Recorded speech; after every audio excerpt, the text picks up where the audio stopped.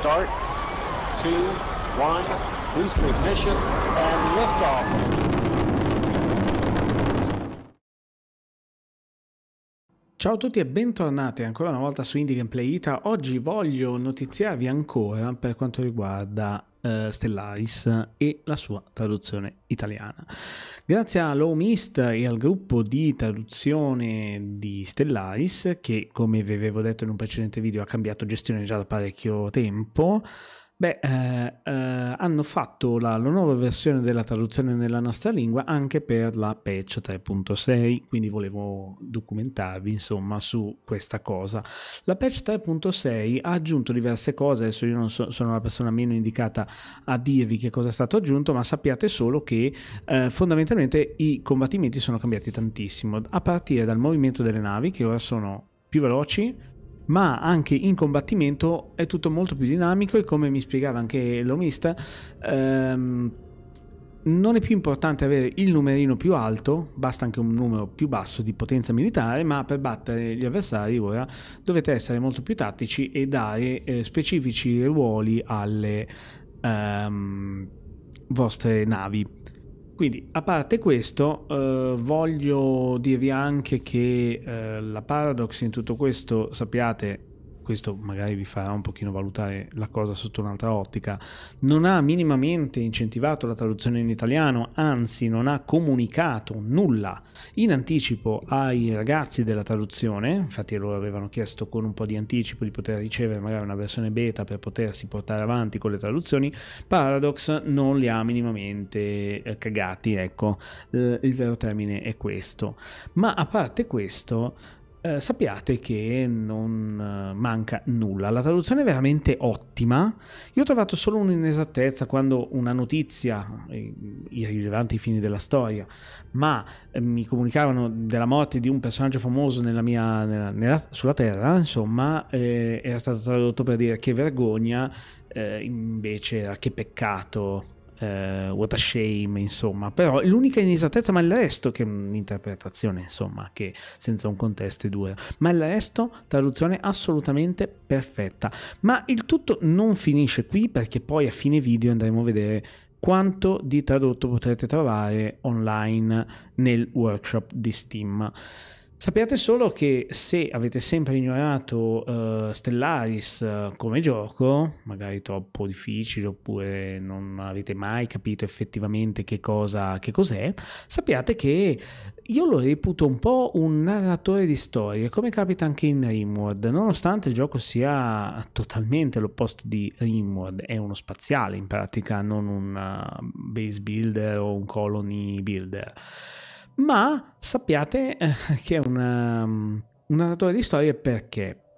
Perché la mia flotta è partita dalla Terra, si è, si è espansa, ha esplorato, ha eh, colonizzato un altro pianeta chiamandolo eh, Nuova Terra, ha iniziato a far vivere popolazioni eh, lì, ma eh, ha anche incontrato in questo sistema una, un sistema con un buco nero, insomma, con la stella collassata e la popolazione viveva all'interno di questi diciamo mi ricorda molto un episodio di Star Trek all'interno di questi mondi orbitali un po' come una uh, eh, ISS insomma una stazione spaziale dove all'interno c'è un mondo uh, fittizio insomma un mondo artificiale. Ma non erano soli c'era un'altra fazione da quest'altra parte. E la società era di tipo a livello tecnologico come la nostra, quindi era atomica. E quello che ho ipotizzato è che si fossero fatti guerra distruggendosi a vicenda, magari per la loro guerra nucleare abbiano distrutto i loro mondi, trovandosi costretti a vivere in queste stazioni spaziali orbitanti, mm, oppure più semplicemente i mondi sono stati distrutti dal collasso della stella, o forse tutto è avvenuto dopo o prima, non lo so. Fatto sta che ho deciso di una delle due, eh, dal nostro primo contatto sembravano comunque più ehm, affini ai, ai, nostri interessi, insomma, quindi ho deciso di costruire una stazione che li studiava sia uno che l'altro solo uno dei due ho deciso di aiutarli. Aiutandoli li ho fatti diventare i miei vassalli con dei precisi compiti. Eh, in pratica sono piuttosto liberi, possono fare un po' quello che vogliono, ma al momento mi preoccupa il fatto che si stiano espandendo da questo solo sistema a questi altri due. In compenso si sono presi il sistema come proprietà loro, in vassallaggio mio ovviamente, e hanno riconvertito la mia struttura di studio degli altri, dei loro avversari, da semplice studio a studio aggressivo cioè praticamente prelevandoli e studiandoli.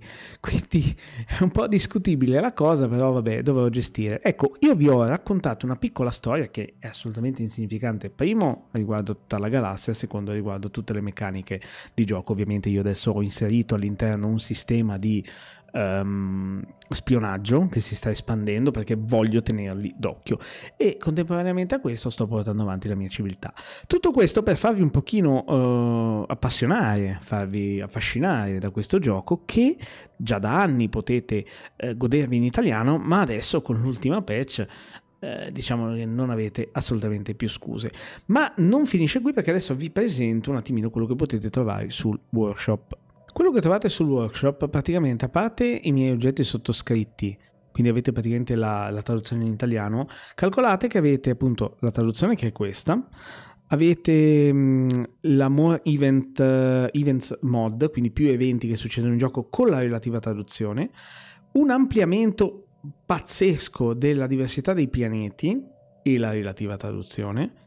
Eh, questa ve lasciate stare, extra eventi, quindi eventi ancora più nuovi per l'ultimissima patch, tradotti anch'essi, e un pacchetto di storie di archeologia tradotti anch'essi. Ma non finisce qui perché ce ne sono anche altri, nel senso che se andiamo a cercare traduzione italiana, ce ne sono molti altri.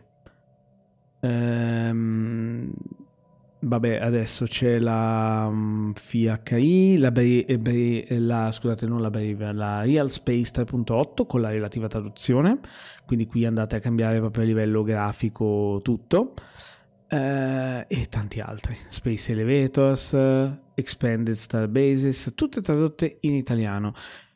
Credo sia uno dei giochi più eh, tradotti a livello di contenuti secondari Mm, tra tutti quelli che ho, almeno io personalmente.